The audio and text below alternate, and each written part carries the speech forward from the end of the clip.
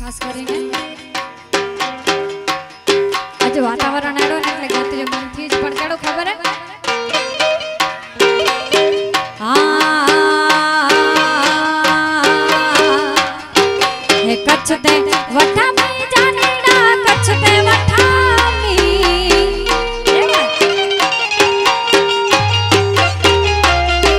હે કચ્છ તે